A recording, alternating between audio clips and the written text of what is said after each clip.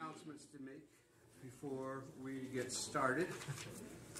And those are, first of all, there's a, tonight we're going into the book of Proverbs, and we're in our second study. We're going to go through the first six, seven verses dealing with the purpose, the purpose of Proverbs. Here's something that you should know. When you know the purpose of the scripture that's being taught, if you know the purpose of the book that's being written, um, Isaiah 55:11 kicks in. My word does not return void, but it accomplishes the purpose for which it is sent. So understand that when you know the purpose of it, then you have some solid ground to pray with. Okay? Got it? Turkeys for Tomahawk. Okay, strive is still going on. Um, if you want to donate towards the purchase of turkeys for Tomahawk families, you can donate online at. Got it, guys. You're well trained.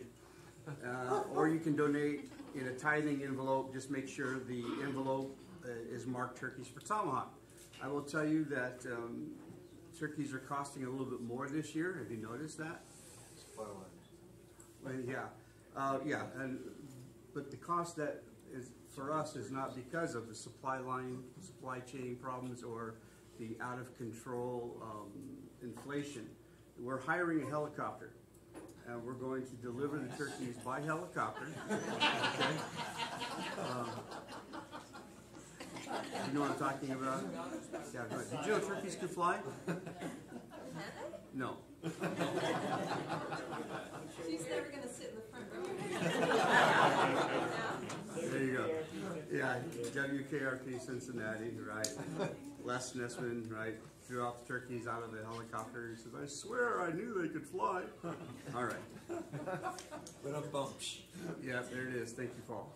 Um, now, on a serious note, if you are here, because we, you know, the supply chain is a real issue, inflation is a real issue, and wages aren't buying as much as they used to, and the Lord's been good to us here at Calvary Arrowhead uh, through the tithes and the offerings that you all been giving. So if you have a, a need for Christmas, we would, or Christmas or church, well, okay, Thanksgiving, please let us know because we would love to be able to supply you a, a turkey and such, okay? And a, a food box if necessary. So whatever you may need. And also, just FYI, um, there are some flyers in the back for St. Mary's turkey distribution and Vineyard North Phoenix food basket giveaway too. So don't go hungry this Thanksgiving, okay? All right. Um, next, jewelry sales fundraising. Our own Yolanda Monterey. Yeah.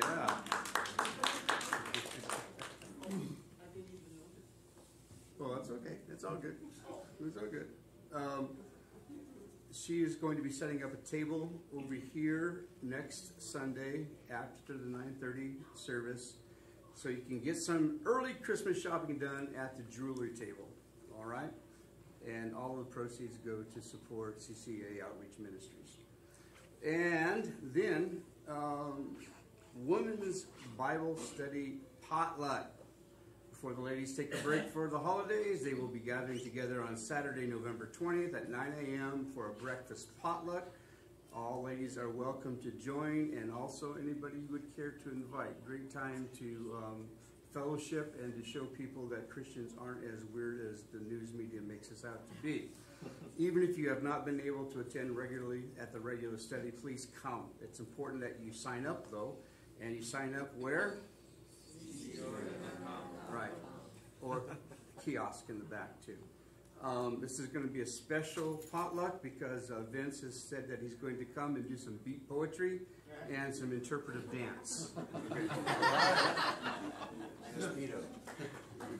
I don't we might drop the speedos. All right. And also, speaking of the ladies' ministries, the Christmas brunch is coming up on December 4th at 9 a.m. Cost is $15 per person, includes a full breakfast buffet catered by Cracker Barrel. Please register at. All right, your friends and family also And if you want to host a table of eight, please mark that on your registration. I don't know what it means to host a table, but I'm sure the tables will appreciate it. All right.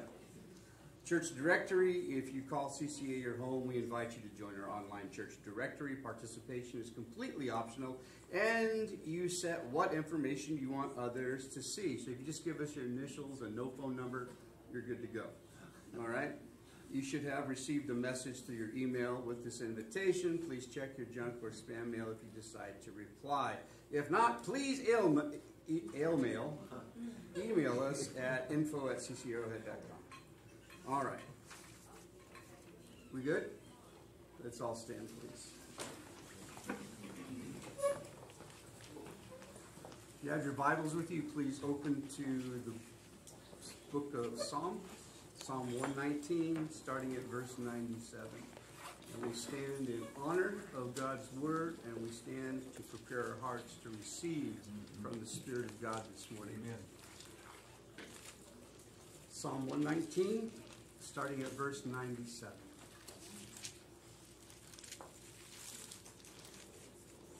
Oh, how I love your law. It is my meditation all the day. You, through your commandments, make me wiser than my enemies, for they are ever with me.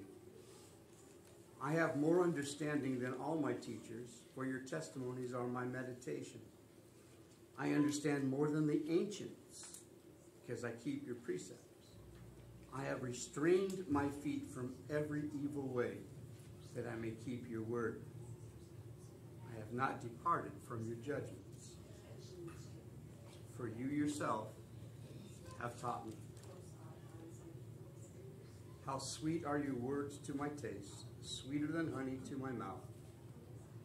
Through your precepts I get understanding.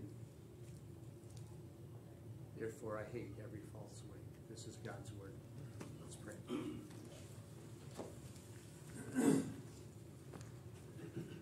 Father, what we do here today is very spiritual. We recognize and acknowledge your presence. Where two or more are gathered, here you are in our midst. And we desire, Lord God, to be edified and built up and strengthened, to be comforted, to be challenged, to know that we have been in the presence of God. May the love of the saints be sweet this morning. May, Father, those who are here that have not tasted of you, may they taste today and see that indeed you are good. As many are here who would say that exact thing. Our God is good. He is all the time good. So please bless us as Paul ministers to us this morning. And I pray this in Jesus' name. Amen. You may be seated. All right, Mr. Paul, would you come on up, buddy? Um, I have something to give you before we go any further. Vince already gave me a bunch of guitar picks.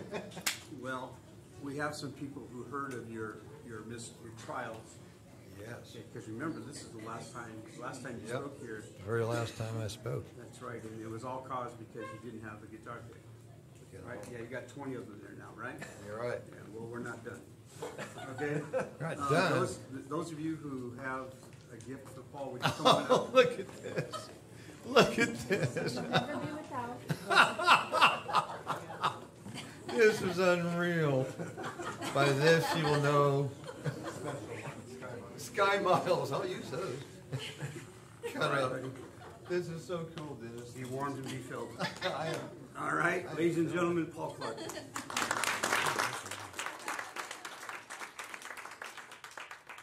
That is gonna make me cry, actually. So before I even pick up my guitar, I need to do a little housekeeping, and uh,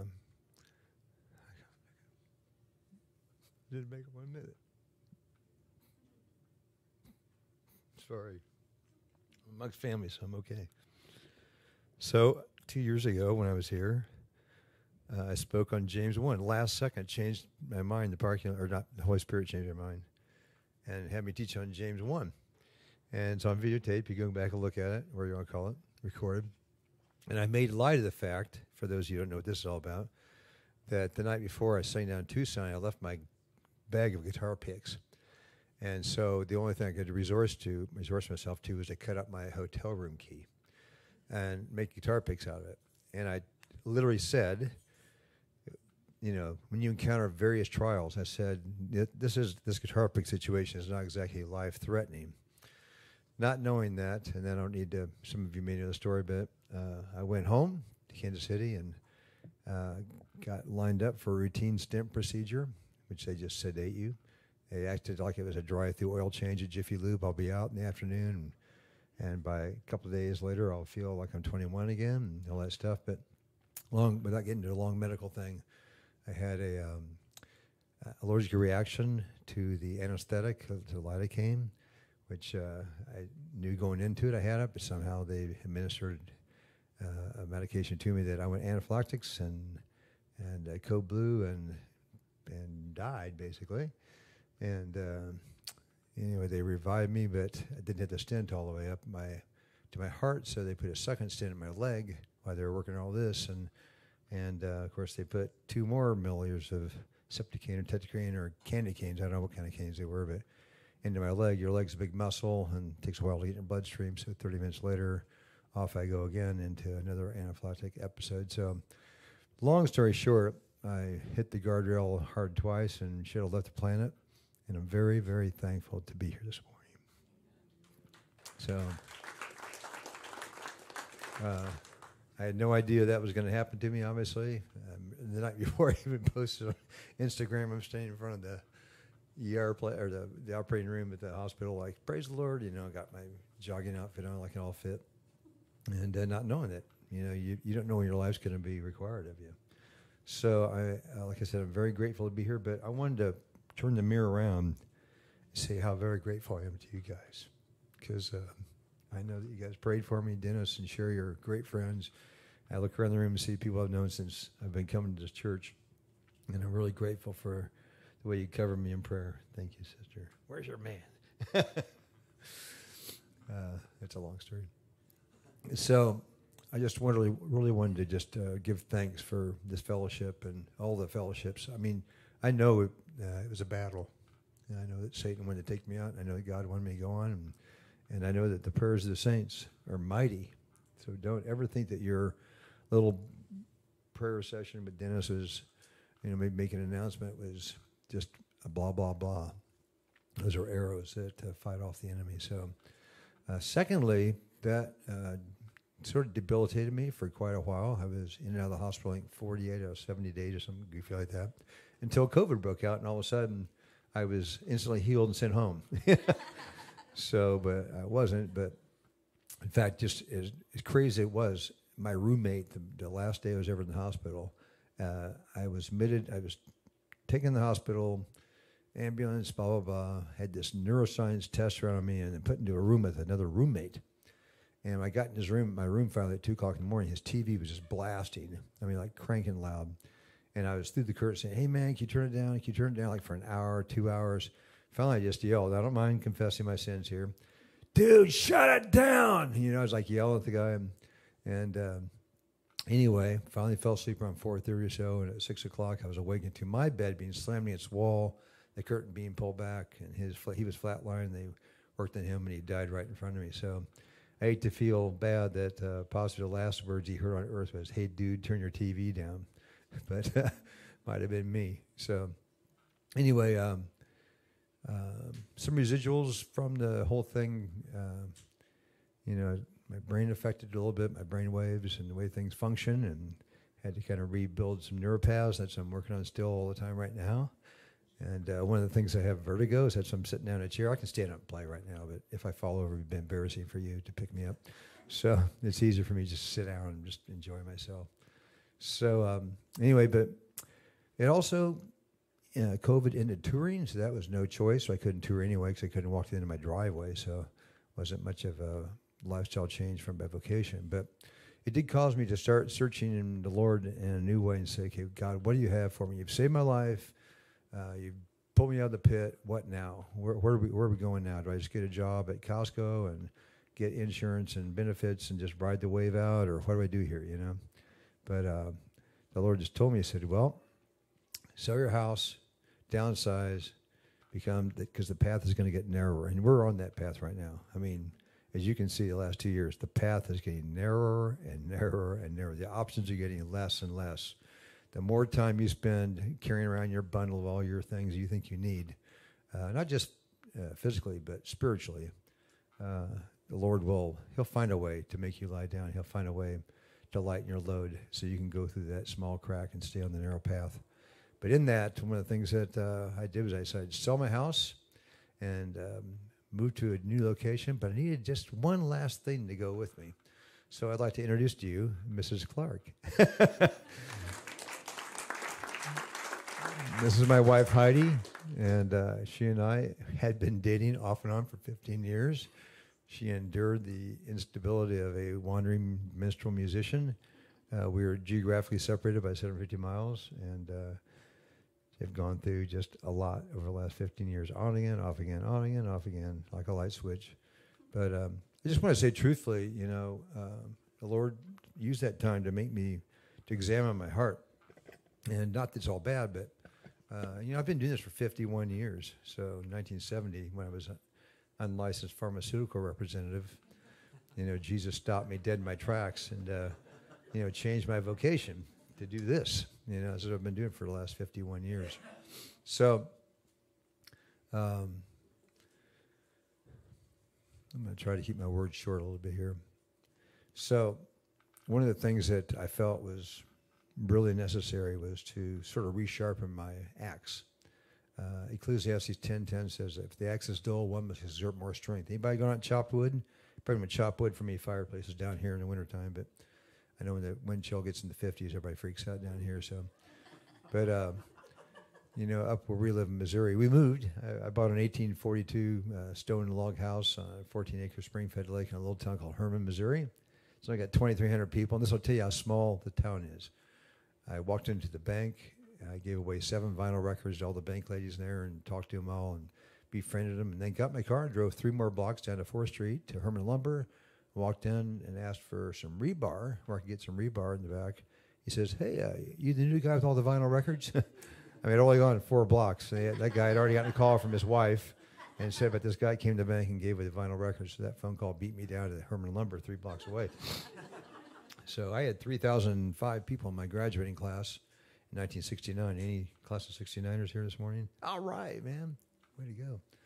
Uh, but we have 2,350 people in our town, so we're learning how to live in a small town. It's, it's, it's, it's really fun, actually, uh, to go from, you know, towns with six lanes of freeways in each direction. That's how I've lived my whole life. And then all of a sudden, living in a little town is really fun. So we have rush hour traffic. 315 to 345, mom's picking up the kids at school. And uh, we have one traffic light. No, do we have a traffic light? No, it's stop sign. Yeah, stop sign, 4th Street. Yeah. uh, but it's really, it's a lot of fun. Uh, it's a, a, Germanic community that was built in the 1830s, and it's still four and five generation families rule the roost. And uh, there are a lot of believers there and uh, a lot of people that are love this country. So we were really uh, grateful to be uh, living in the little town we live in right now. We've made a lot of good friendships and had a lot of fun things happen. This house is really fun too. It's got a big wine cellar underneath it, uh, built by Germans, you know, that they're so good at. And I'm converting it into my recording studio and a little event center right now. So that's a little bit of updating you, just uh, what's happened to me since. So uh, it's good to be married, it's good to be alive, it's good to still be following Jesus. And um, so, and I want to once again, just thank Dennis and Sherry for their friendship and their. Uh, he's my brother. Love that guy. Just stand up for a second because I'm going to talk for three hours today, so you want to stretch your legs. So, just a simple worship song we all know, just to get us warmed up. Feel free to put your hands together.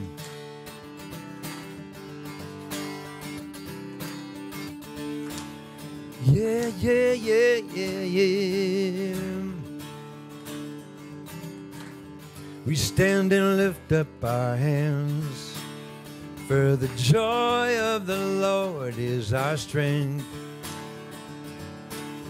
We bow down, worship Him now. How great, how awesome is He! together we sing. Everyone sing, yeah, yeah, yeah. Holy is the Lord, God Almighty. Oh, the earth is filled with His glory. Holy is the Lord, God Almighty. Oh, the earth is filled with His glory. Yes, the earth is filled with His glory. We stand and lift up our hands, for the joy of the Lord is our strength. We bow down, worship Him now. How great, how awesome is He! Together we sing. Everyone sing, yeah, yeah, yeah. Holy is the Lord, God Almighty. Oh, the earth is filled with His glory. Holy is the Lord, God Almighty. Oh, the earth is filled with His glory. Yes, the earth is filled with His glory.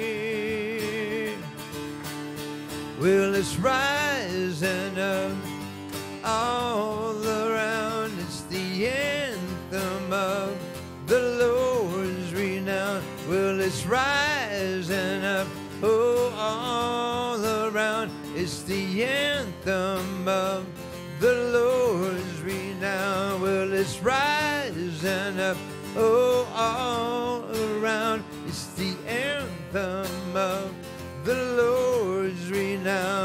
it's rising up, oh, all around. It's the anthem of the Lord's renown. Together we sing.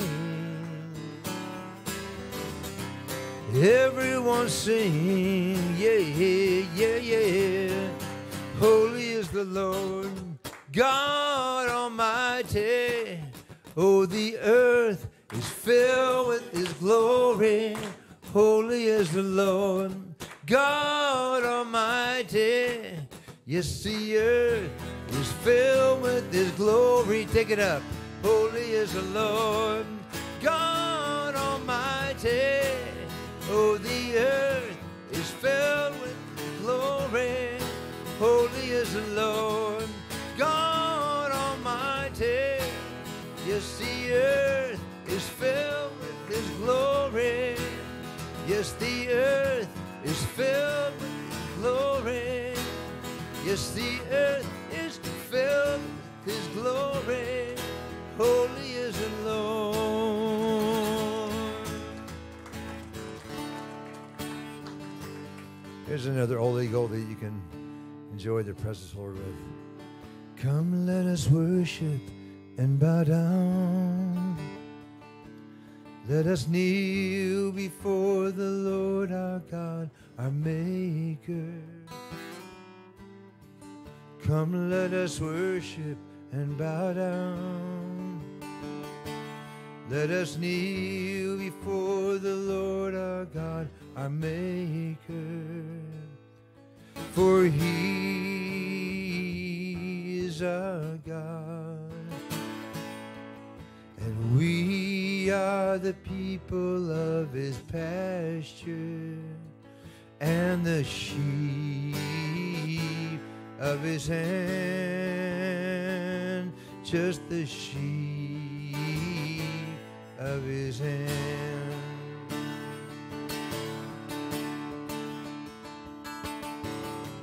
Come, let us worship and bow down. Let us kneel before the Lord our God, our Maker.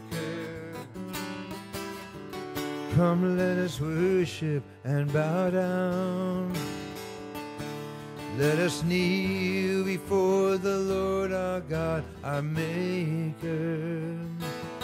For he is our God. And we are the people of his pasture and the sheep of his hand, just the sheep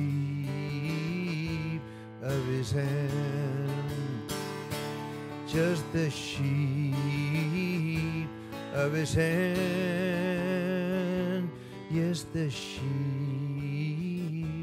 of his hand. Thank you, Lord God, for being our great shepherd. Jesus, you are the great shepherd. We thank you for your rod and your staff. Draw us back when we're near the edge of the cliff and hitting the guardrail, and, and also use it to bump our heads when we're just being sinful and away from your presence. Thank you, Lord Jesus, for leading us beside still waters and green pastures. And thank you for making us lie down. Thank you, Lord Jesus. We praise you this morning. We appreciate you. And Jesus, we thank you for sending us the promise of the Father, the Holy Spirit. Holy Spirit, we honor you right now.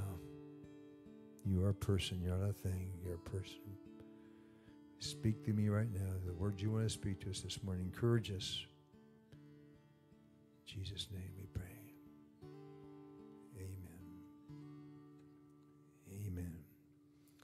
You may be seated. I'm going to use that last song to segue into a few thoughts I have. Um, the word sheep is a word that's really come alive again lately in the world we're living in right now. Uh, politically, people use the word sheep all the time. He dumb sheep following this guy, dumb sheep following that people, following this media, whatever. Sheep are, are real, and sheep are dumb. You know, sheep are sinners, and sheep are compliers. And we are the sheep of his pasture. How about that? It makes us really dumb and compliant, isn't it? but what's cool about being a believer in Jesus Christ, it's good to be a sheep because we need a shepherd. We are reliant upon a shepherd. If you think you know your own way, you're going to be in for a surprise. And you just might find the edge of the cliff. I'm thankful I had a great shepherd that pulled me away from that guardrail. I'm glad that he had a uh, further calling and purpose for me. I'm ready to go home anytime. You know, I've, I've lived a hundred lives. I mean, I could never stand before the Lord and complain that I got shortchanged and uh, didn't get my money's worth. I've I've lived. Anybody knows me here knows I've lived a hundred lives. I got ten cats living inside me. So, um, but we also live in a time that uh, people are using the term sheep for following um, foolishly uh, ideologies that are uh, not honoring to God, just put it that way. And this isn't going to be a political statement this morning. We all know that this world will burn.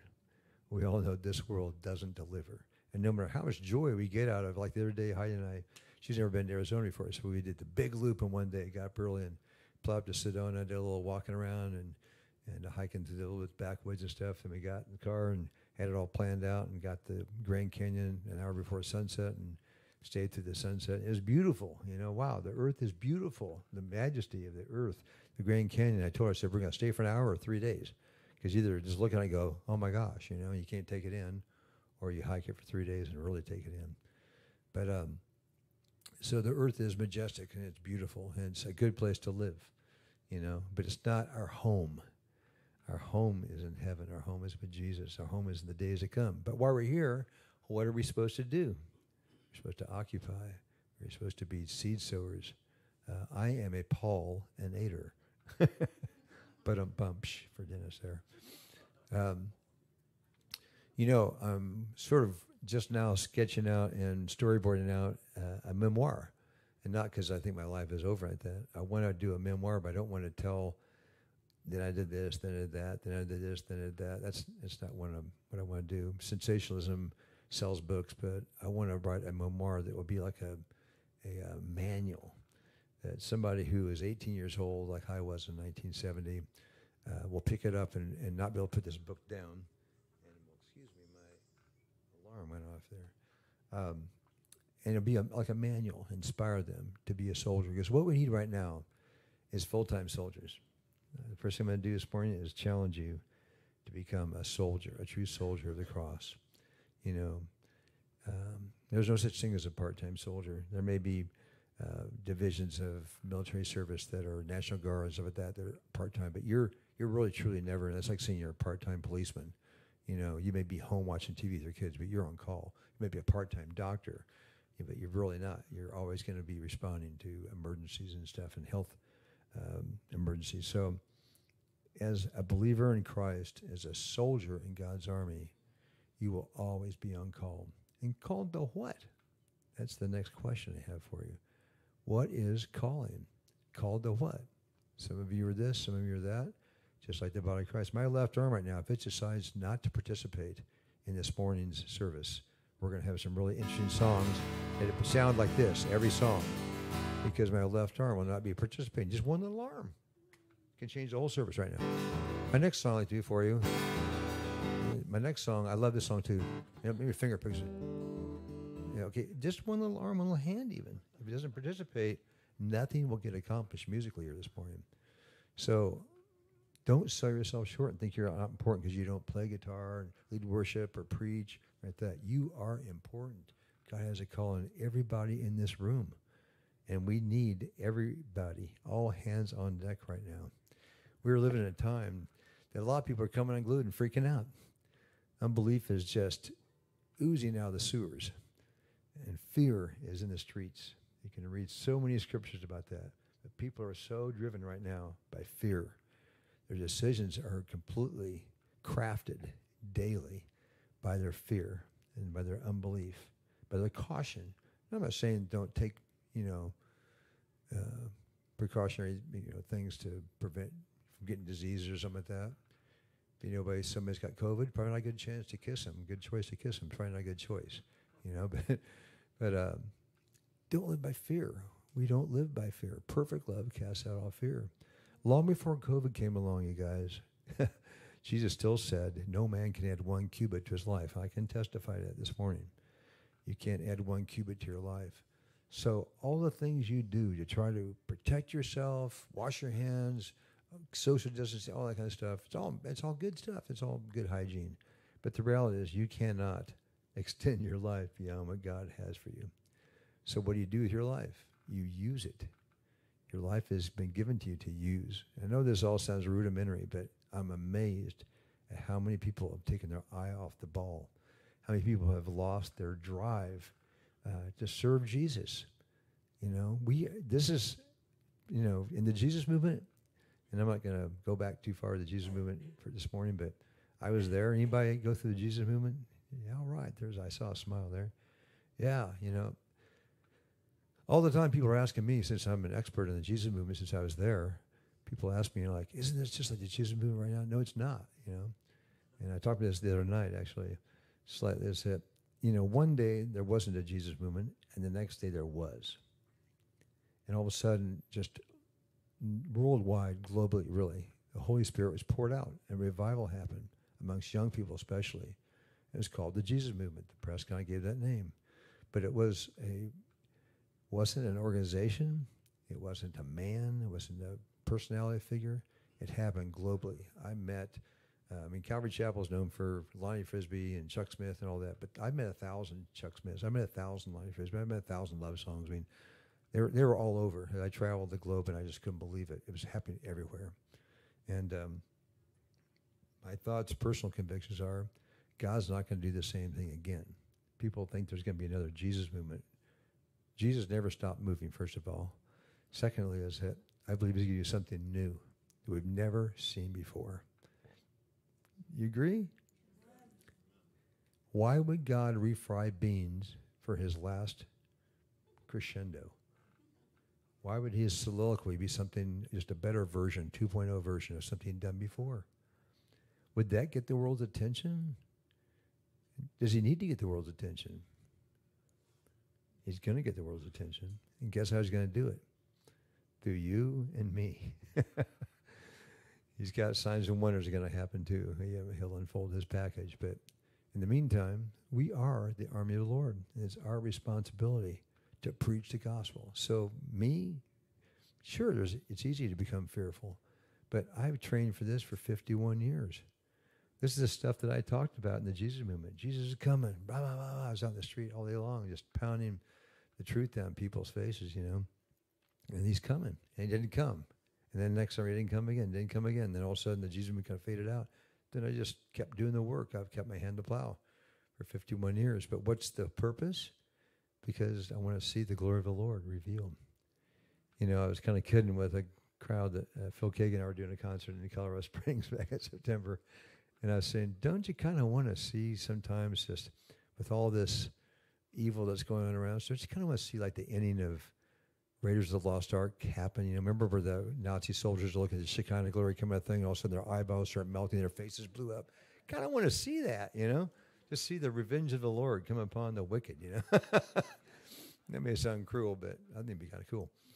So, just for a short season. but just you just you, you love God so much you want to see him get the attention he's due and the respect he's due, and the fear of the Lord will happen. As I always used to use this as a metaphor that you see a car accident, another car going to the intersection, and the car gets sideswiped. People don't just jump out and say, "Oh, State Farm," you know, or "Oh, Visa" or American Express. You know, they don't reach for their go-tos of natural. They cry out, "Oh God." Fools, because their iniquity draw near to the gates of death. Then they cry unto the Lord. How many times you see people, you know, and something bad happens, oh God, you know, they never call on God in their daily life, but it was an emergency they'll call out. So we're living in this unique confluence right now of emotions and disease. Um, these are just kind of some random thoughts I'm going to throw out to you. You know, the first commandment that God gave to the children of Israel when they crossed over the Red Sea if you keep my commandments and my statutes, none of these diseases of the Egyptians, he didn't say just diseases, the diseases of the Egyptians. What are the diseases of the Egyptians? They were the plagues. And for the hardness of heart, or you want to call it that, the things that God was dealing with, the hardness of heart of both the Egyptians and the children of Israel, he dealt with it. You know? And if you didn't obey it, you were subjected to the laws, to the, to the diseases of the Egyptians. And we don't have to be subjected to those things. You know, we can get COVID. It's all right. You can get through it. You may die from it, but God already knew you were going to die from it. There's not one thing we can do to extend our life. You know, He's got a plan. He's already got a barcode in the back of your neck that only He can scan and read. So every day is a gift. I can testify to that. Most of us in this room can testify to that. You can all get up here and tell your own story of how you survived something. So we have this option, but it's not an option. It's a commandment. It's an option if you're in the flesh. It's an option if you don't have Jesus as your Lord. He's just your Savior and, and you acknowledge Him. But if He's your Lord, then it's a commandment. And that's to love one another, to love people, to preach the gospel, to go to the ends of the earth if necessary, to proclaim the good news. And so, when I sort of stand back and take a wide look at what's going on today, I think of the fact that, first of all, the Word of God says that God will shake everything on heaven and earth that can be shaken. That's everything. That's you, that's me, that's our systems, our nations. God will shake all. He's promised He will shake all those things. Why is He shaking them? To sanctify them and purge them as far as believers, to make a beautiful bride. Why would God want to have an ugly bride? Why would he, why would he want to have a, a bride of a bunch of people just doing their own thing? He wants people to love him and obey him, keep his commandments. Interesting that the first thing that happened to the children of Israel was when they went three days without water. What happened? They were thirsty. They began to mumble and grumble, right? Anybody ever mumble and grumble before? You know? Well, it took them 400 years of slavery, and it took them three three days of being thirsty to become mumbling and grumbling. They already forgot about what happened at the Red Sea, you know. But it's interesting that they led that uh, they found a body of water called Mara, which means bitter, the Hebrew word for bitter. It's interesting they got there, and the first thing that happened was, can you imagine the scene of being that thirsty, that many people, and animals, everything out in the desert, and they get word there's water from the scouts probably going ahead And they came running back, says, "We found water." And everybody just rushes up there. I'm sure they weren't preferring one another. No, no, brother, you go first. No, no, no, I insist. You know, let me. I'll humble myself and let you drink for you know. I'm sure it's every man for himself. You know, and uh, the thing is, they got there and the water was bitter. If you read the story in Exodus, you'll see that the water was bitter, and they were even more mad. And Moses was, con, you know, confronted with the situation, and God gave him way out. It was to take the piece of wood and throw it into the water and make it sweet. And that's what we have. Because when Moses threw that water, that, that wood in the water to make it sweet, the transformation took place from some bitter to sweet. The transformation takes place from when we are without Christ and full of bitterness, and then become believers and confess with our mouth that Jesus is Lord. The water turns sweet. Taste and see the Lord is. Is he good? Amen. But it's when we take our mouths and confess the cross of Christ is real. That's what turns the water sweet. One of my favorite scriptures that I share every place I go, Revelation 12 11. They, the believers, overcame him by the blood of the Lamb and by the word of their testimony, and they loved not their lives unto death. So, one more thing I want to say about the Jesus movement before I move forward is that the Jesus movement actually, despite all the films you might see today, or documentaries, or high, uh, highly advertised books by authors that are experts on the Jesus movement, I was there. I can tell you this: music with a worm on a hook. Once we got the crowd assembled, testimonies took over. I would stop and testify between songs, just like this, where I bring somebody up. Hey, Jason, come up here and tell us what happened. Jason would give his testimony, and all the people out there in the audience that wanted to get rid of their old lives and become like Jason's new life, those are the ones that came forward. It was through testimony. You know, and I've said it before. I know I've preached it here before. Be the son of a lawyer that, uh, you know, you train your witness to stick to the story. That's what my father told me. He was a trial attorney for 38 years. The first lesson he told me about law was train your witness to stick to the story. We should be trained. That's why you come here on Sunday morning to fellowship, hear Dennis and other speakers get come here talk about the Word of God. Your morning devotions every day. We're training ourselves to keep going deeper and getting more familiar with the story because we have a plaintiff, an accuser of their brethren that wants to steal, kill, and destroy. He wants to distract you so badly to give a false report. Because what does a false report do? It has a big hole in the bottom of the boat. It doesn't hold the truth. The truth will always prevail. You know, I watched my dad try several cases, and I thought, what is he doing? He's getting his behind beat up. And the last minute, he pulled out his trump card of the, all the evidence, and bam! It's just like a, it's like a, a arm wrestling match. It's like he's almost pinned. He's over yawning. I'm like freaking out. What's my dad doing? You know. And so, you know, he just delivered the knockout blow with the truth. You know, the truth will always win. And the truth is, the Word of God is the truth. Amen. Thy Word is truth. And uh, so I want to encourage you this morning to stand back a little bit, not panic from all the stuff that's going on in our world. Every day there's something new.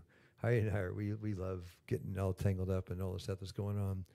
Uh, we're deep diving all the time. I mean, last night she literally took my vitamin D's out of my vitamins. Says, just a second, I'm not sure we should be taking vitamin D anymore because there's a blah, blah, blah, blah, blah going on. like conspiracy vitamin D theorist, you know. and we, you know, we've been, uh, it's hysterical. So every day we're always, you know, tweaking is like a Mad Max machine. You know, we're just, uh, you know, tweaking, but trying to see what is the Spirit saying? You know, what is the Spirit doing? So I'm a photographer, and I can tell you that good composition. If you look at a painting in this room or anything else, good composition is, and music's the same way. No more music than photography. You have what's called near field, midfield, and far field. And obviously, near field is what's right in front of you. Right now, we're living in a near field world. Man, it's just bam, bam, bam, bam, 120 decibel volume, just punching you in the face every day with all the things trying to influence your thinking, and primarily with fear. If you, yeah, Heidi just uh, moved uh, as we got married. She moved from Ohio, living in Amish country, to where we live in Hermann, Missouri now. But we were, I was up there last spring. I was at this place called Amish Market. It was hysterical. Nobody's wearing masks. They're all walking around doing their normal thing, you know, selling bread and doing this. And I asked this guy, I said, you know, what's it been like up here, you know, during whole COVID? What do you mean? I said, you know, what's COVID? Uh, we don't watch TV. you know, they're all healthy and fine, not stressed out or anything, just doing their everyday life, milking the cows, getting the bread going. You know, it's just nothing's going to change for them. You know, so we should take a lesson from that. But um, you have mid, near field, midfield, and far field. Did you ever have an experience when you were a young kid when you had a little box camera, one of those Kodak cameras, and you go on vacation, you drive to Grand Canyon, you go, wow, cool, click, click, click, click. You waited seven days to get your film back, you know, and then you got it back, and the Grand Canyon's like this big, you know, the sky's like huge, and then the Grand Canyon's like this little teeny, like way far away, out of focus, kind of purpley blot on the on the paper, and you go, what happened, man? In your mind, you you saw every saturation hue of the color spectrum, and your photograph came back, it looked like you know somebody spit on it. And so, what is that? It's because it's too far away for that lens. The aperture and the depth of field wouldn't comprehend it, could not take the information in. And so, in far field, you've got stuff that's a long ways away. Midfield is reachable, and near field's right here in your face. That's what makes a good composition because it tells a story. Once again, it tells a story. And I'm going to talk that word a lot this morning. The story, the story of Jesus is amazing. There are so many false gods, so many false gods in this world. It's unreal. You may not think of, uh, you may think of all the gods of the past that people bowed down to, but we have far many false gods than they had. Our options from shopping to whatever, you know, or Amazon to me is a false god sometimes. I boycotted Amazon, Amazon for a long time because uh, I just thought I'm not going to feed that that uh, Goliath anymore. He's they're, they're they're prospering during this pandemic, you know. I'll, I'll do something else than call Amazon, you know. But we don't realize how many things we are serving all the time, all the idols that we are serving in our everyday life uh, that make us turn our hearts from God. So this may sound like I'm rambling, but I'm bringing us all to a point. So please, church, try to hang with me here. Because uh, we are living in time where it says, Jesus himself said, even the elect can be deceived. So you're prideful if you think that you're infallible and you're not going to have something go wrong. I want to just stop and testify for a second that one of the things that happened to me in this time of uh, my health, you, when you get in that valley, it is a valley. It's almost like you can see the top of the mountains that you're in, and the rapids around you, just taking you down an eddy, just round and round and round. You start chucking stuff and that you think thought was important. You will do anything to keep yourself alive, and you start in your inventory lightening the load. That's why Jesus said the road's narrow that leads to life. Few go by it. And I can just testify that. I mean, I was just ditching stuff right and left, not just physically, guitars or I mean, my house or that, but just in my heart, taking inventory. And one of the things that continually God was purging me of was self protection. And um, I'm going to just take a second in case there's one person in this room this morning that's plagued with the, uh, I'm going to call it the sin of self protection. Because self protection is relying upon yourself, obviously but it also usually comes from a wound. It usually comes from a wound of rejection. Fear and shame come from the garden. Abandonment, rejection were dealt with at Calvary. If you're going to write those four things down, fear, shame. Think of God coming to, you know, down to fellowship with Adam and Eve, and they what they do? They ran and hid. They were ashamed and they were fearful. And that is two of the dark horses that chase the carnality of man abandonment rejection were dealt with at Calvary. Jesus dealt with himself. My God, my God, why was I forsaken? I've sing that song Tetelestai here many times as church. You know, Father, forgive them. They know what they do. But he was abandoned and rejected by his own Heavenly Father. So fear, shame, abandonment, rejection feed into this thing that I call self protection, which is every man for himself. In the end, you will do what you can to keep yourself going, keep your modus operandi going. And you know that Psalm 23, I had a friend of mine call me in the hospital. He said, Paulie, he got this Boston Mafia accent, Paulie, write these things down. I said, Dave, I can't even see my phone. How, you, how can I write something down, you know? Just write it down, write it down, bro. Paul, I tell you, write this down. The first thing he told me to write down was, he makes you lie down. He makes me lie down. you always thought of that as the as the good part of God. Of oh, He leads me beside these bubbling little brooks and this beautiful little green grass, and you know, it's just a little state park, you know. And but the thing is, He maketh me lie down. Is it possible that God allowed that illness to happen? Is it possible that He put me in that situation to get my full attention? Yes, Satan's trying to kill me probably, but also is it possible the Lord allowed it because He wanted my full attention because He wants to prune me. In the Midwest right now, when it starts getting freezing at night, now we can start pruning our branches. So next spring, it'll look differently. And we just prune off bad branches. We prune off the good branches too, so you get more growth. We plant a little vineyard, 25 little vine plant, you know, uh, little plants, you know, for growing grapes for our salad. We live in a wine country. It's hysterical. We don't drink. We live in a town of 19 wineries and six distilleries. It's uh, all the Germans came over in the 1830s and 40s. And they planted thousands and thousands and thousands of acres of wine. Hermann, Missouri is known for its wineries, and uh, it's hysterical. We go around bar hoppings to witness to people, and they all try to buy us drinks. We go and drink, and then they'll ask "Hey, well, how about buy you a steak?" She's a vegetarian. No, I don't need that. She said, "What do you guys do for fun?" You know. You say, well, right here we're talking about Jesus. That's what we do for fun. you know. But just to take a little side bar one more time, then I'm going to sing some songs. I know I'm supposed to sing this morning too. Um, this self protection, He makes me lie down. You know, people don't like that when when we get in a situation where all of a sudden you're stripped down to not having power. We like to be in control. True. Anybody, anybody honest this morning? We love to be in control. Not for the sake of just that, but no one wants to have uneasiness. So it's this this this uh, self-preservation and protection.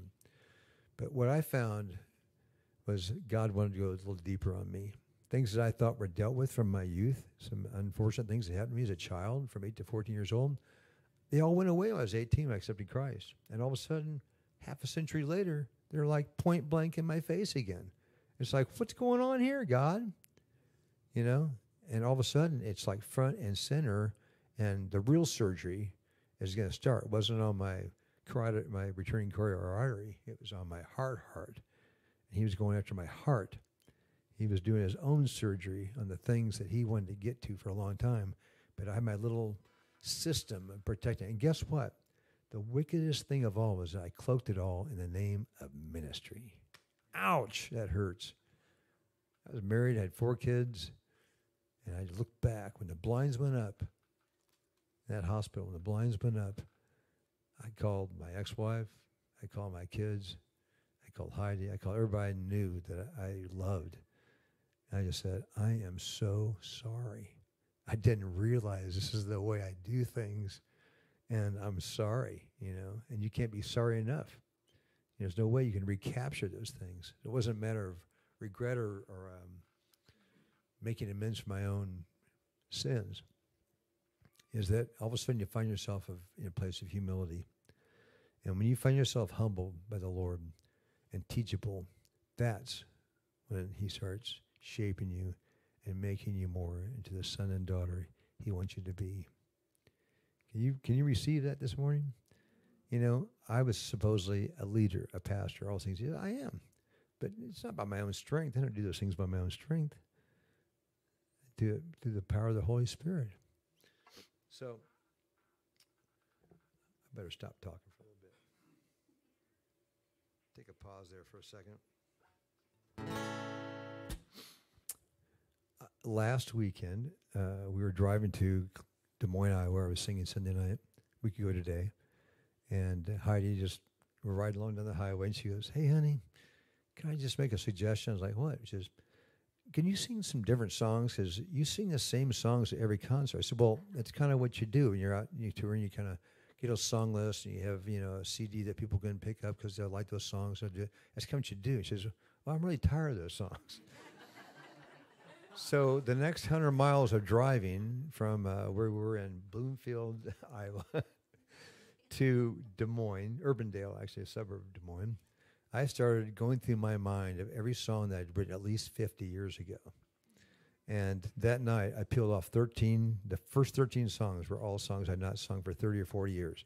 I just peeled them off one at a time. And she's, yeah, and she sat in the front row like, what the heck? Who's this guy? You know, you shouldn't hear anything. So, so I'm going to a little challenge myself to go back and dig up these songs because it's amazing when I play these songs. They're all simple Bible stories, but you know they had an anointing on them that changed a generation. I can humbly and honestly say I'm a, one of the handful of ragamuffin musicians that God rose up and and changed the world. You know, I can I, I changed I helped change reshape history. You know, I'm not saying it to myself glory, but I got the I got the front row seat. I didn't do anything other than just play my guitar and sing songs and show up. That's all I did was be available. But I got a chance to see nothing turn into something. You know, unfortunately, that industry became all about sales and and uh, flesh and in-cap presence, whatever you want to call it. Uh, appreciate CCM for what it is, but it's not what I was called to. I was called to, to ministry. So anyway, this was a song I wrote 50 years ago.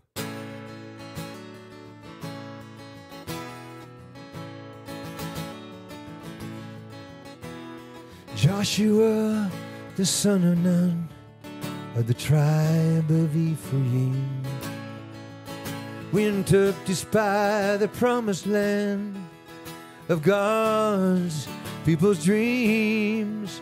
And he found a land of milk and honey near a brook named a shore. And you brought back a good report. And you urged the people to go.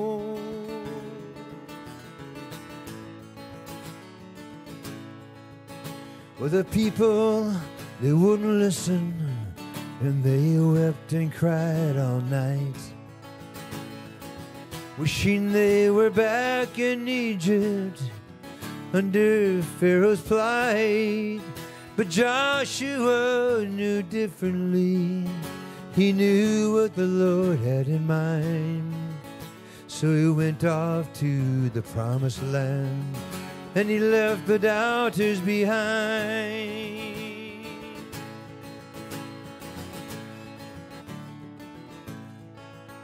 As Joshua walked on with God, an angel let him know the plans of the Almighty God for the battle of Jericho.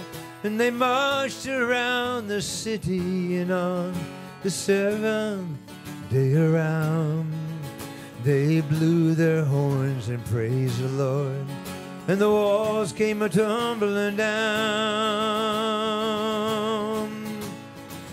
La da da da da da da da da da da da da da da da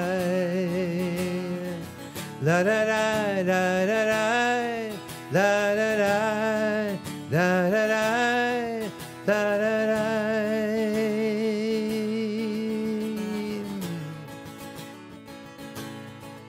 Well, the reason for this song is something to behold. Do you see the faith of Joshua in the story I have told? Can you sound your horn and praise the Lord and trust His plan for you? If you can, then praise the Lord. You march on in victory too. If you can, then praise the Lord. Praise the Lord. You march on in victory too.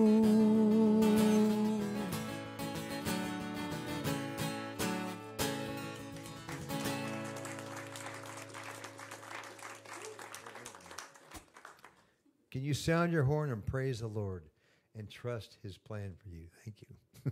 I didn't even see you. Um, what a deal. Think of that. Think if God told you to walk around your problems seven times and blow the horn and praise the Lord and it'll all fall down.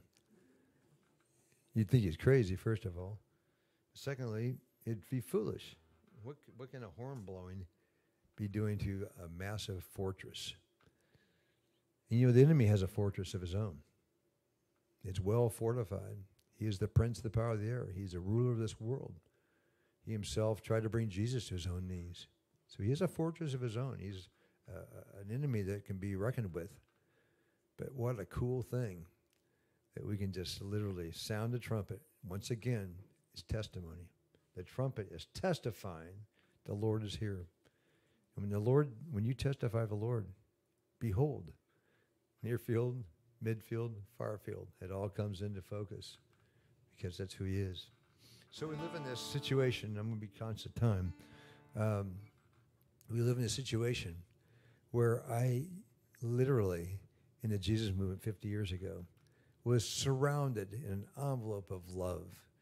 It was post, you know, the summer of love in the world, and then I got saved, and I found out what real love was, and all of a sudden it was, we are one in the Spirit, we are one in the Lord, we are one. In, you know, was everybody love, love, love, love, love. You know, it was all. And it was firstborn love. It was when you have first love for Jesus, you're, you see Jesus in everything when you're a brand new Christian. Do you remember that when you're born again? I mean, I remember I was a brand new Christian. I went to Kmart, and I hadn't worn underwear for like two and a half years. And I thought, you know, maybe I should think about start wearing underwear. Just getting sanctified. And uh, I'm literally back in the men's section, and they this thing back then called Flashing Blue Light Special. And this is, you know, May of 1970. And I'm standing there, and it's 12 pair of underwear for 99 cents. And I'm like, all right. I don't do laundry for like a month because I can wear them 12 straight days, then turn them inside out, them the next 12 days. Just, you know, three and a half weeks. With the, you know, I see a couple guys acknowledge it. You know what I'm talking about, bro.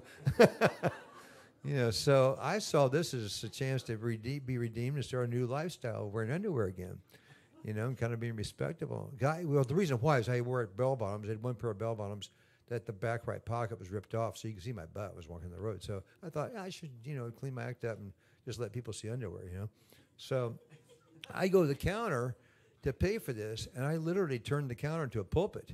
I'm starting going, Do you know that Jesus brought me here right now? Not five minutes ago, not five minutes later, right now, for such a time as this, to be here to buy these underwear for nine cents, to get a bargain because he loves me so much, he wants to give me 12 pair of underwear for 99 cents. I found you find anything and everything to exalt the name of the Lord, including 12 pair of underwear. You know? And the people in line were like backing up. Women were holding their children, children stay away, you know, just go out the car now, but we'll be safe. You know, they, they thought it was nuts. I had big, long red hair and a big, bushy red beard. It looked like Moses come down from the Ten Commandments. And instead of two tablets, I got 12 pair of underwear on my hands, you know. And, uh, man, I tell you, you know. But what was happening was that I was so full of God's love, I couldn't not stop and tell everybody about this magnificent love I'd encountered. And we are living a time right now, brothers and sisters, where the door is wide open. You may see people cloistering in their homes in fear. This is the time to put the gas pedal down and take good news. We have good news. The world's full of bad news all day long. This is happening, that's happening, that's closed, that's can't do that. Don't do this, don't do that. We have good news, and it pushes those walls over. It is a sounding of a trumpet. Good news is good news.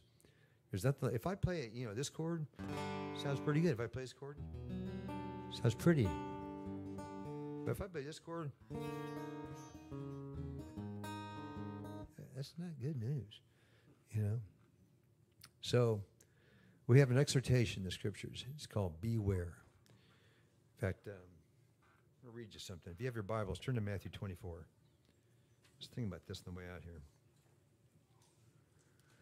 When I was first a brand new Christian, I did not have a Bible. I had a pocket New Testament only. So obviously, I had a lot of red letters to read from all the time. And um, I met the Lord literally. Actually, my first true encounter with Jesus was standing out on the highway in western Kansas. My Volkswagen camper engine blown up. I got towed 70 miles from from um, Kansas to Hays, Kansas to Ben Darling Volkswagen Motors and the salesman the next morning dropped me off at the eastbound entrance on I 70, 360 miles from my home back in Kansas City area. And I stood out there from 7.30 in the morning until 4 o'clock in the afternoon. I could not get a ride. I could not get a ride. And that was right when a movie out just came out called Easy Rider. Had a very uneasy ending for hippies. And uh, every other car going past there in western Kansas had shotguns across the back window. I just saw myself as the next hippie who's going to get my head blown off. And I was just doing everything. I tucked my hair up in a bandana. I had overalls on. I saw that as an advantage, but I couldn't get a ride. And finally, I reached in the top bit of my overalls, and I had a Pocket New Testament. I was a freshman at Uni- University of Kansas. I was taking a course on the life and teachings of Jesus Christ. You had to have a New Testament. So I got the smallest Bible I could possibly get because, you know, to carry a Bible around as a drug dealer isn't really happening, you know. I was an unlicensed pharmaceutical representative with a Bible in my top pocket. But everybody to see it because I was probing for truth and seeking the Lord, trying to find out what truth is. Truth, truth, truth. If you're a child of uh, born a baby boomer, you went through the, the search for the truth. We were all truth seekers. Today, people don't seek for truth. They seek for self gratification, instant everything, you know, instant everything. But as I began to read that day, Matthew 6.33, my mind thinks very mathematical. Seek first his kingdom, his righteousness, and all these things will be added to you. I saw that as one plus one equals two. If I seek first the Lord and his righteousness, he'll give me a ride. And I was literally on my knees down in the on ramp all day long of doing everything I could to get a ride. And a van stopped and they picked me up, took me all to my front door. But on the way, I was asleep. They woke me up. And as I sat on the table, his wife had prepared a meal. If I could go into the best five star restaurant in the world, there it was right in front of me. Two butterfly pork chops, you know, green beans, mashed potatoes, a big glass of milk. That was I could have that was my favorite meal. And there it was. God was meeting my needs to show me He loves me and cares for me. So I continued to read through the New Testament. I eventually came to this passage, and I'm not going to read the whole thing this morning because it's rather long, but Matthew 24, if you want to read it, we can just pick up actually at verse 3. Now, as he sat in the Mount of Olives, the disciples came to him privately, saying, Tell us, when will these things be? Let's just take it from verse 5. Save a little time. Verse 4. Jesus answered and said to them, Take heed that no one deceives you. For many will come in my name, saying, I am the Christ, and will deceive many. Before I move on, if you're around the 1970s, we had all these gurus and Maharishis and stuff like that. There are many false teachers and many Christs. Today, they come in different uniforms.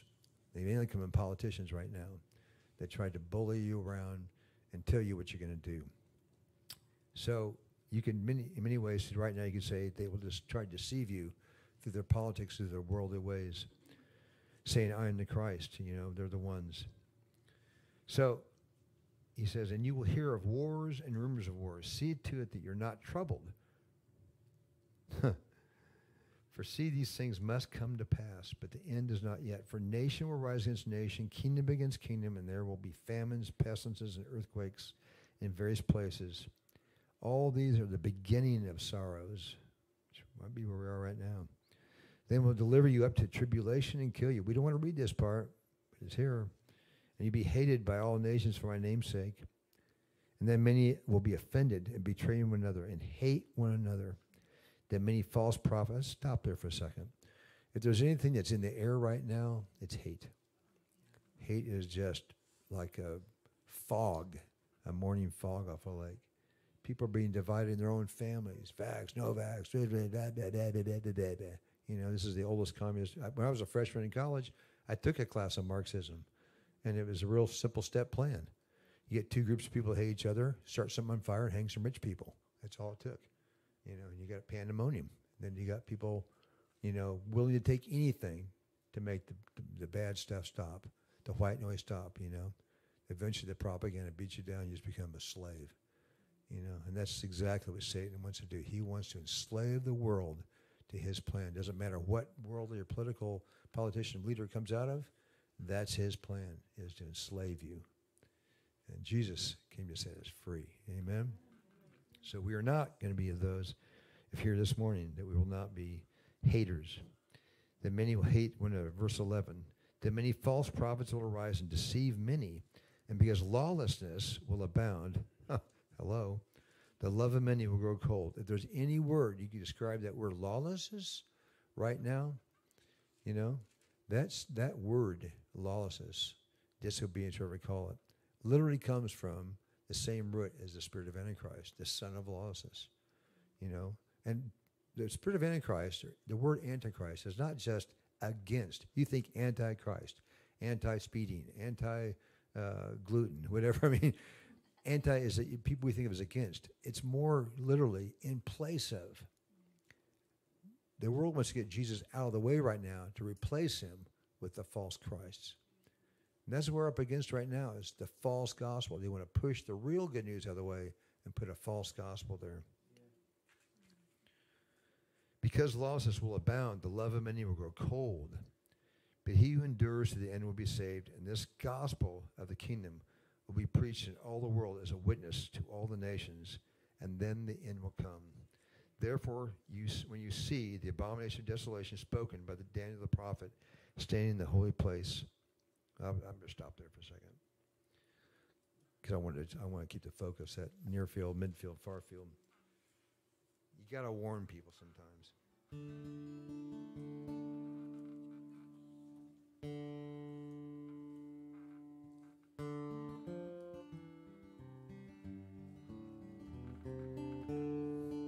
It's another song I wrote 51 years ago. Beware, children, of what you hear and see.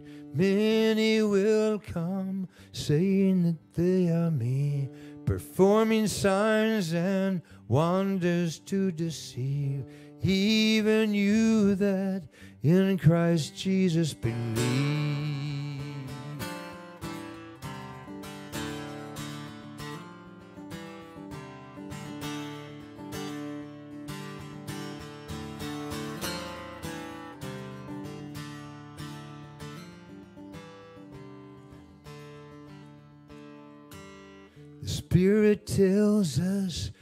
That in the latter days many will depart from Jesus and go astray. You will know them by the fruits they yield. See the harvest being prepared in the field.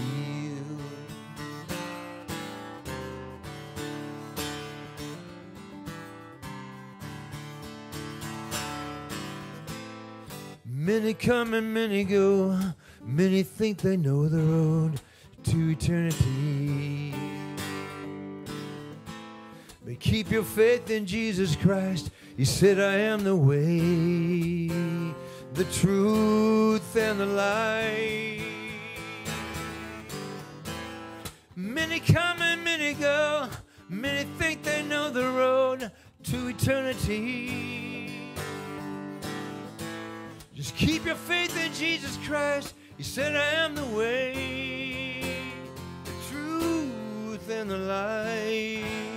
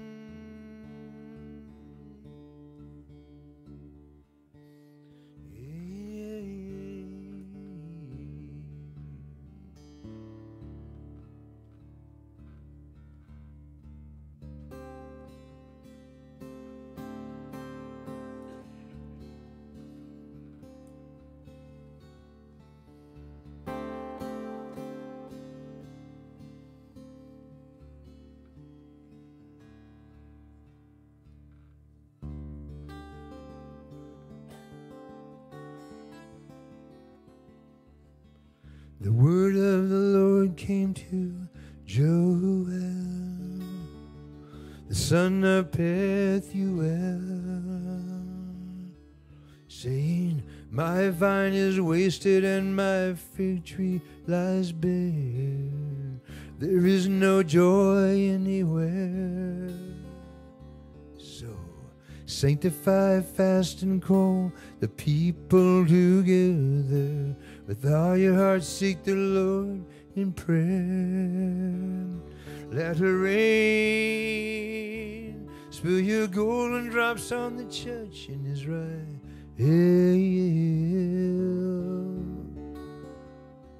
Let it rain spill your golden drops on the church in Israel.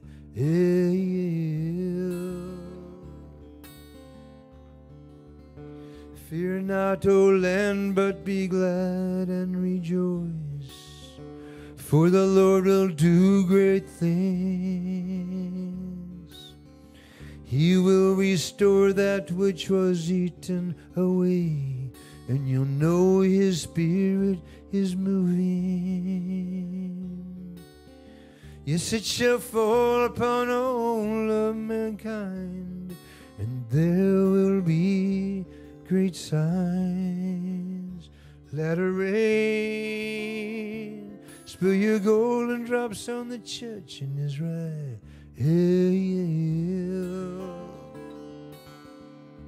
Let it rain, spill your golden drops on the church in Israel.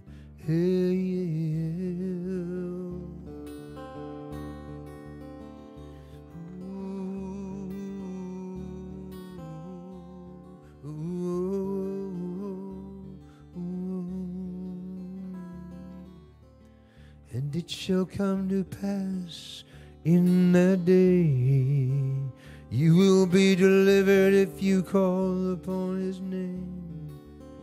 Don't get caught in the valley of decision, for it will be dark, there will be no moon or sun. Then you shall know that the Lord is in Zion. Jerusalem will be holy.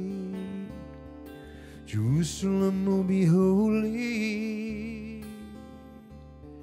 Jerusalem will be holy. There will be a fresh fountain. Let it rain. Spill your golden drops on the church in Israel. Yeah, yeah.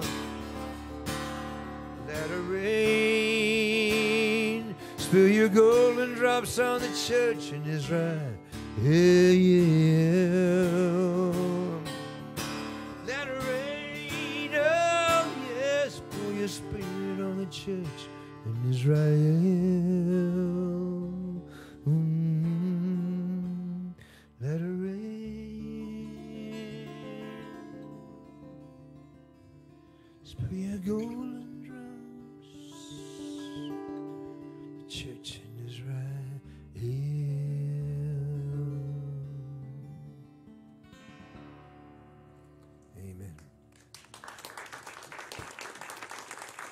So that was another song I wrote in 1972, I think it was.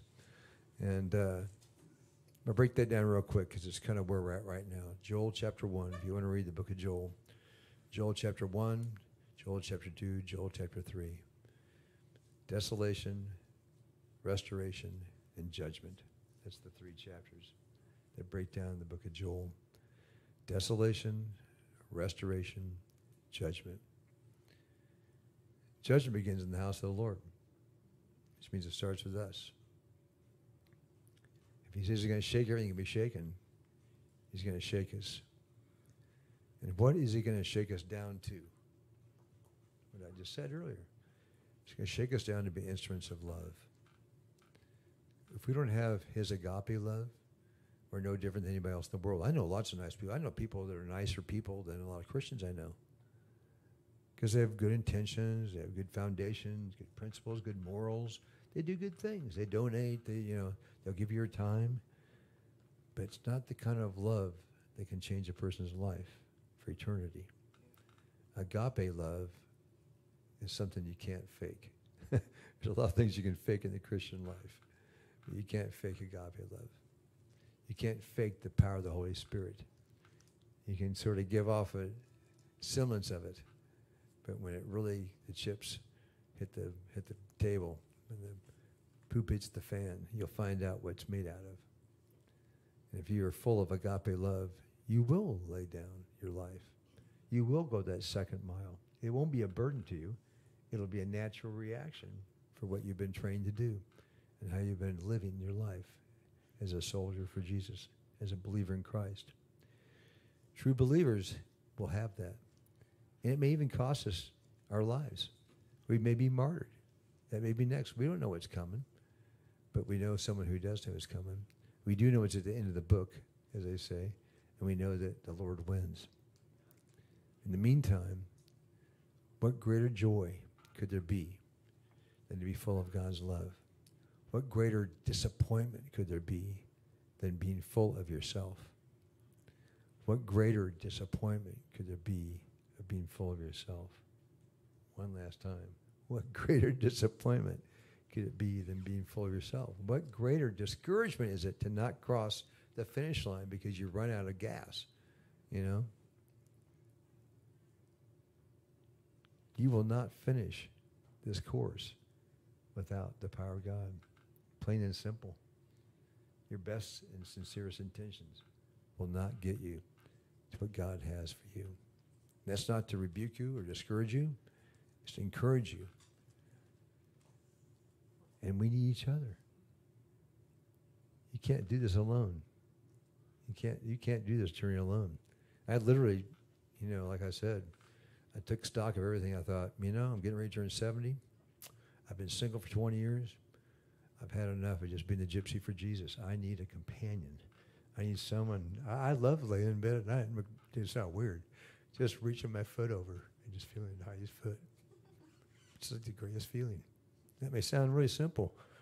I had other things I used to do a lot more. That I found a lot of pleasure in guitars and cars and all that stuff, and vintage this and vintage that, and whatever. But now that's I'm, it's not being reduced. It's been exploding to the joy of being able to just feel somebody foot next to me at night, sharing, have somebody in the journey with me. So, what time do we have? I what time do we quit? Eleven o'clock. I got time still. Am I out of time, Dennis? Or am I keep going? One more. Keep going. It's all right if I keep going.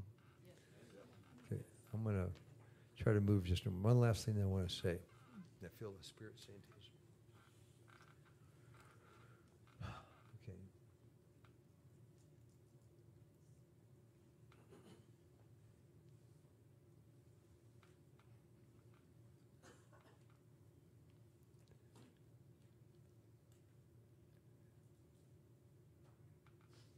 When you get a second chance, take advantage of it. Fool looks in the mirror and walks away and forgets what he sees. A wise man looks in the mirror and reacts differently. A fool builds his house on the sand. A wise man builds his house on the rock. We know all these things. I could peel off scripture after scripture sitting here right now. But you and I got second chances. That day at Calvary, we all got a second chance. We were doomed. We were destined to be separated from God forever. And for eternity is a long time. So, not just a second chance of getting off the operating table, but a second chance, a third chance, a fourth chance, and a chance every day. It's so easy to be self protection, as I've been saying today, to take your ease, to protect and guard what you have for yourself. So I want to exhort you. The word exhortation is really important. It's like a warning, like that song, Beware. Beware, children, of what you hear and see. I want to warn you one last time and encourage you at the same time. Don't just keep doing status quo. Don't just keep dog paddling in the deep in the pool. Allow him to raise you up to a new plateau in him. Allow him to peel off the layers of things that are blinding you from what God wants to make you. Uh, you might remember the name Keith Green. So Melody is a good friend of mine. We were talking just, just a while, you know, a couple years ago when all this was going down. And we had this big long talk. I was just shoving out, you know, all this information to her, and we're sharing her life and my life, and all the things we've been through, and knowing each other for all these years and stuff. And she said something so profound, so simple. But she said, "You know what? Isn't it great that no matter how long we've been following Jesus, 40, 50 years, whatever, you're never too old to be his child." And that's why I want to end with this morning. I want to encourage you that you're never too old to be God's child. And what are children? They're dependent, right? I had four children when they, when I was when they were little. One of the greatest joys a father ever had was taking them to the swimming pool. When they were not quite good swimmers yet, and they could stay in the baby pool. But I took them into the big pool over there, they were dependent upon me. If there's any fathers here this morning, I'm sure you had the exact same, exact same back problems that I had. Because I'd take them out in the pool, and once we were out to where the water's like this deep, they begin to dig their fingernails a little bit deeper. And I get out to chest deep, and they're a little bit deeper. And then I would do the loving fatherly thing. I would bend my knees, one, two, three, and then hoist him and hurl him in the air to watch the spirit of panic attack come into him. of just, you know, ah! And I know they're going to be all right. And they'd come back into my arms, and I'd catch them, and they'd froth around, splash, and kick and everything. But once they were secure against me, and they knew it was okay, there was a flip, a total flip. And then the words came in their mouth, do it again, daddy. And then for the next five hours till sunset, and the pool's been closed for an hour, and there's no snack bar left, and I'm out of carbs. They are just saying it over and over and over again, do it again, daddy, do it again, daddy, do it again, daddy. Just one more time, dad, just one more time. It's, they close an hour ago, just, just one more time. You know, that's the spirit of a child, right? Do it again, daddy. Why are we not living the exact same way? Do it again, daddy. He will do it again and again and again because he loves us. And so I want to close off this day with a real simple worship course. Take me out of the shallow water where I can stand on my own. Carry me over the deepest part where I trust in you alone. If holding you is a weakness, don't let me be so strong. Take me out of the shallow water in your arms is where I belong.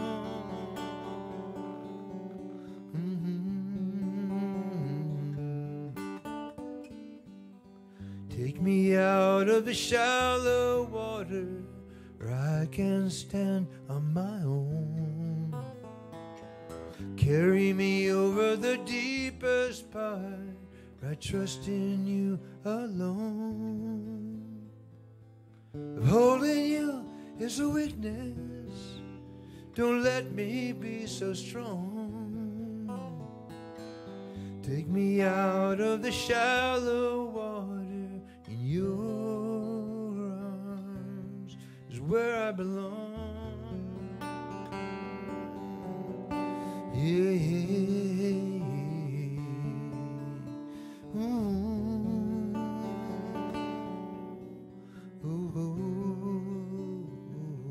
it with me. Take me out of the shallow water where I can stand on my own. Carry me over the deepest part where I trust in you alone. If holding you is a weakness, don't let me be so strong. Take me out of the shallow water in your arms, in your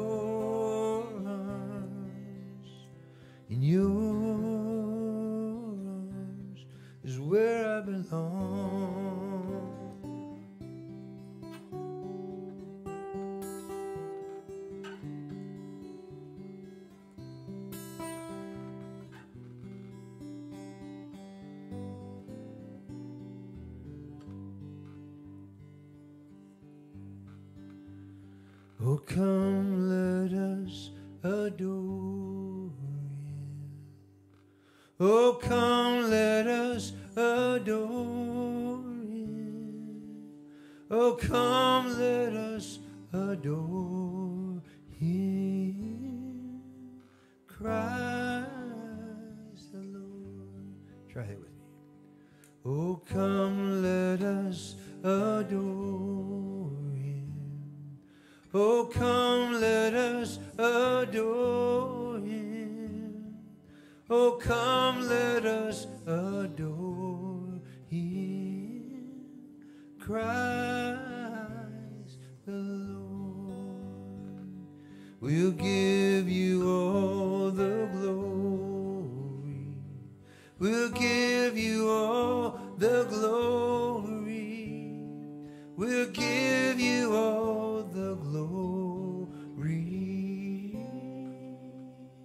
Christ Lord. Yes, we'll give you all the glory. Christ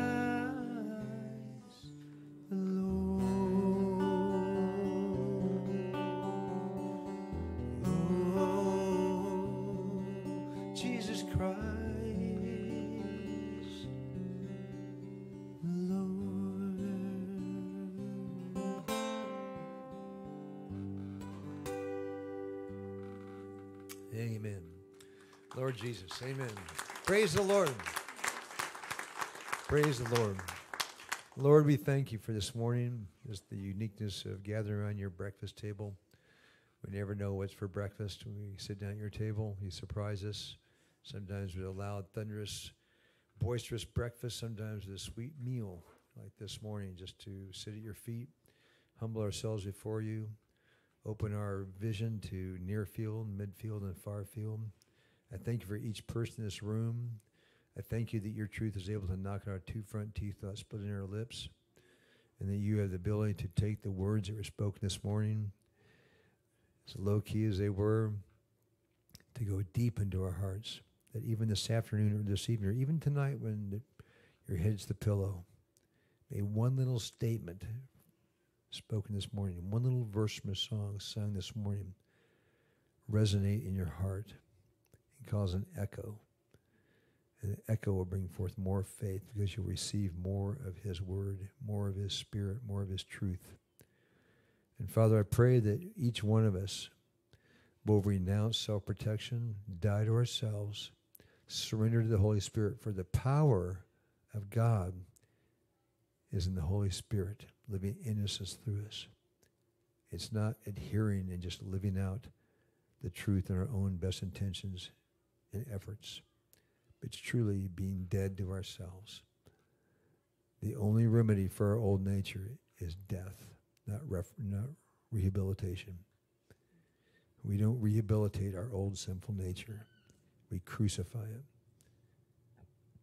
And Lord, we thank you that you can't cast out the flesh and you can't rebuke and repent of a demon. I pray for each person this morning that's being harassed by demonic forces, that's being pestered by demons of fear and unbelief, that are being cloaked with the spirit of fear and shame, abandonment, rejection. In the name of Jesus, I stand against you, and we agree as believers for anybody in here that's being choked out by those four dark apocalyptic forces fear, shame, abandonment, rejection. I rebuke you in the name of Jesus. You have no power over my brother and my sister in Jesus' name. In the name of Jesus, be silenced, be gone in Jesus' name. We don't have to yell at you. We don't have to quote scripture at you. We don't have to be charismaniacs. We obey the word of God. In the name of Jesus, we silence those evil spirits that are trying to debilitate faith. And Lord, we choose right now to pick up faith. We pick up the sword of the Spirit. We put on the full armor of God, and we stand this morning as soldiers of the cross, as bearers of truth of the cross of Christ. We ask you for forgiveness for being cowards. Your word says a lot about being cowards. We ask for forgiveness for being cowards, for being silent. And now is the time for us all to stand up boldly. The bones that have sinew and flesh on it. It wouldn't be dead bones laying in the valley anymore. We'd stand up as a body of Christ. And as individuals, we would be bold. Even if it's a flashing blue light special, we would seize every opportunity to proclaim the goodness, the love of God to a world that's starving and parched. How can we be silent? How can we be silent, Lord? We just right now pray for a spirit of boldness and freshness and first love to fall upon each one of us. That we would not not take for granted your presence. Never take for granted your presence. Where can we go to the depths to see the highest heights of mountains? You are there. Your word is spoken from one point of the universe to the other. There's not one place where you've not uttered your speech. Lord, don't let that be in our hearts. Let our hearts be alive with the Word of God and with the agape love and the power of the Holy Spirit. We surrender. We give you thanks. We know that gratitude is the, the, the garden that you put your seed in.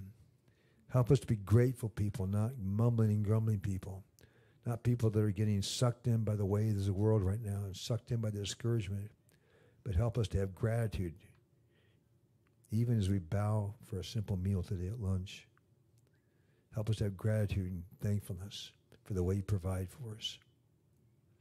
I thank you, Lord, for sparing my life and allowing me to come back here just two years later and um, recall your goodness. Thank you for this fellowship. Thank you for Dennis, Sherry, all the leaders of this church. Do all the things that go on unnoticed, setting up chairs, doing this and that. Their body. I pray for this body. In the name of Jesus. We say all these things in your name. Amen. Amen. Thanks for letting me just ramble in the spirit this morning. Uh, it's all right. It's cool. It's, it's, it's good to have a different way, the meal every now and then, to not just have it be the same. Not that this is the same, but I know that, you know, there's sort of franchise rules of Calvary Chapels of three opening songs, offering song, 45 minute talking head, closing song, we go home. Okay, so that's the package. It's all right. You know, you, you're branded. It's good. You know, but it's good sometimes to just have a fireside chat, sit down and talk these things over, and um, and and take stock of where we're at. Focus our lenses, make sure they're cleaned up. And uh, thanks for personally. Just let me share my personal life, the things I've been at, uh, been through since the last time I was here. And once again, appreciate your prayers uh, for during that period of time. It really meant a lot to me, seriously. And uh, we'll look forward to being with you again someday if Dennis will ever have you back. Who else? Stand, please. Um, Paul, you're always welcome here. Heidi, now that you are part of his life, you are especially welcome here, okay? And we just want to make sure, though, that we have more than just 12 pair. Yeah, more? All right, that's, I've exposed myself. yeah, well, we'll move right along. All right, well. Carried this morning. May the Lord bless you and keep you and make his face to shine on you and be gracious to you. Lift up his countenance upon you, give you peace, and continue to root you and ground you in love. Amen? Amen. All right, buddy. God bless. Have a great day, everyone.